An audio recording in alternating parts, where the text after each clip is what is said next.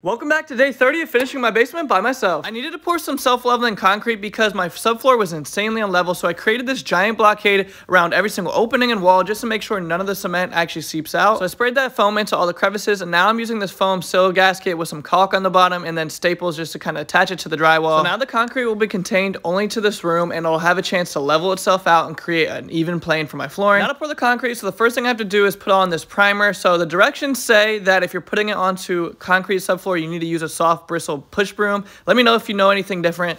But once I waited four hours, I could mix up the concrete. It started splattering everywhere, so I created this little barrier around it, which I thought was pretty smart. And then I tried to go to the low spot and work my way up and just kind of push it into the crevices with this little squeegee. Also, at this point, you're probably wondering why I'm wearing football cleats, and that's in case I have to step into the concrete. It doesn't create a giant impression. In the end, it looked like this, and I did make a giant mistake over in that left-hand corner. Like I said, it's not completely level, so stay tuned for day 31 to fix it.